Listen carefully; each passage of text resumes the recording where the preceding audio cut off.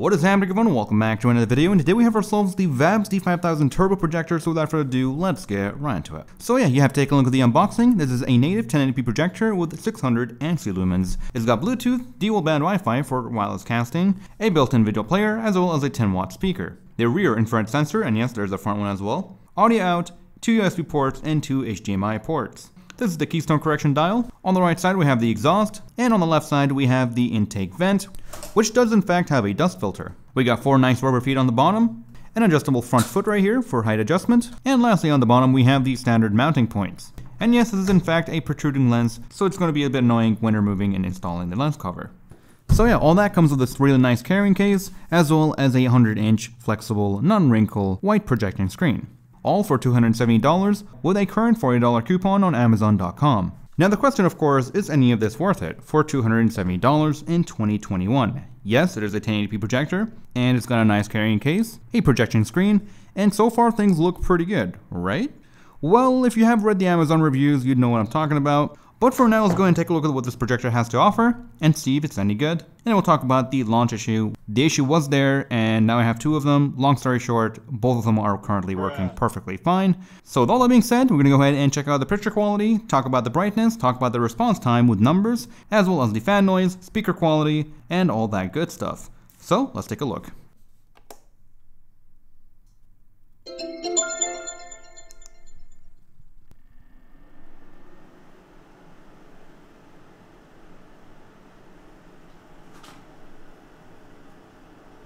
Alright, so here we are with the projector, and as you have saw, the projector did actually start up pretty quickly. However, we got the usual fan noise with these type of projectors. This has been going on for as far as I can remember with cheap projectors. They're always pretty loud and usually not all that great. However, this one is doing a pretty good job as far as image quality and brightness is concerned. Speaking of which, we are currently set up with a single light bulb in the room, just to give you an idea of what it looks like with some ambient light. Here we go ahead and turn that off. So what you're looking at here is about 105 inches worth of screen, and the projector is about 12 feet away from the wall. The left side is pretty good. The right side, however, we do have the other white wall, which is kind of reflecting and slightly washing out the right side of the image. You'll notice that the actual projection isn't perfectly square. Now that of course could be my wall, or it could very well be the projector as the lens elements here may not have the best distortion correction.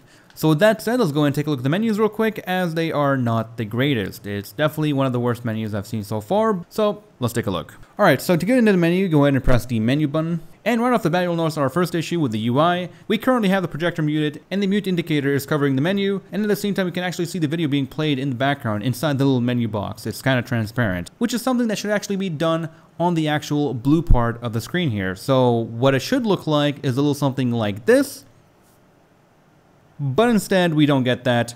We get something that is absolutely hideous with a bunch of wasted room. So for that, I'm going to go ahead and just lower the volume all the way down and move on. So the first tab we have here is the display tab. We have three presets, PC, whiteboard, movie, and user. And to be honest, I usually set up user profiles for a lot of projectors, but in this case, I kind of just left it on PC since it does look pretty on point right out of the box, which is really appreciated. So set it on PC and move on with life. And if you want, you can copy the settings from PC and kind of tweak some things to your liking. Speaking of liking, the projector is slightly a bit on the warmer side, so if you want, uh, set everything on 50, maybe increase sharpness a little bit, and increase the color to about 60%, and set the color temperature to cool, or if you like the warm, then just keep it at normal.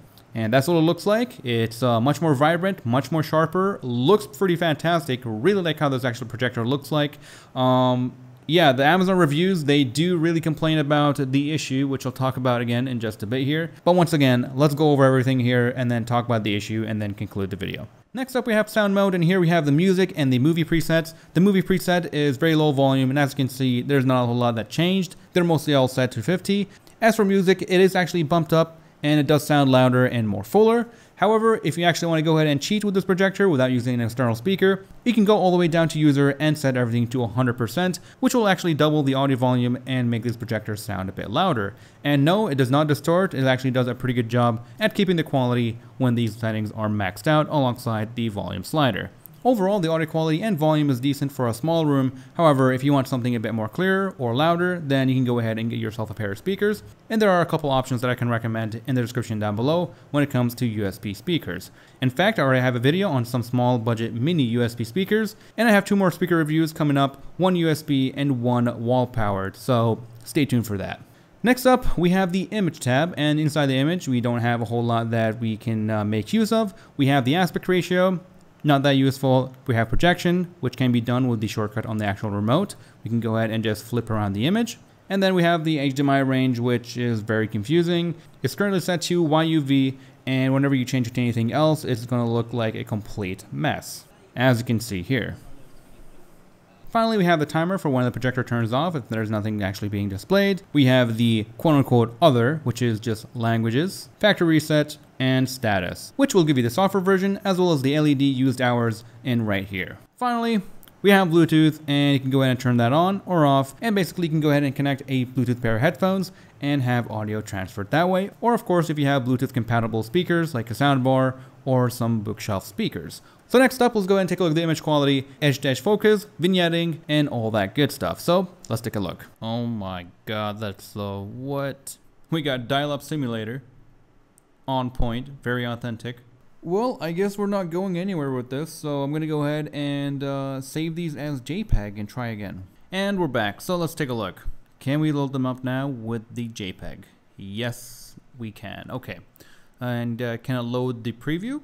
Yep, there we go. So don't load PNGs. This thing just cannot handle it. So this is something I came up with.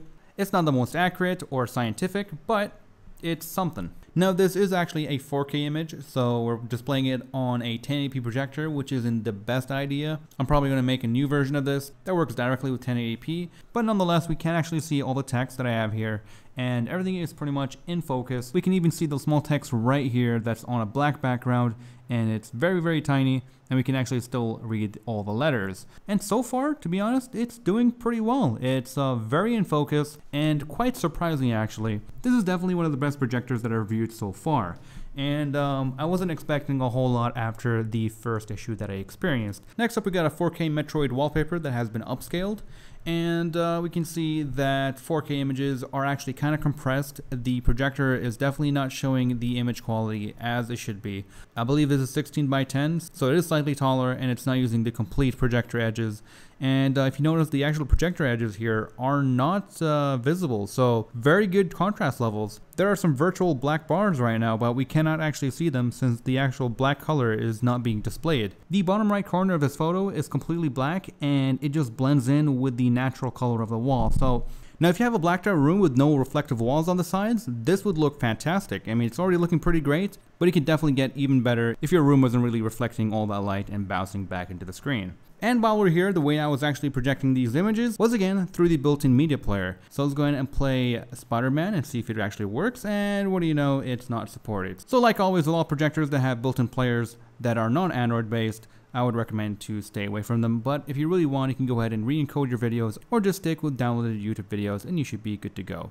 Now one nice thing to see here is that the actual media controls are properly laid out and are very easy to uh, navigate through.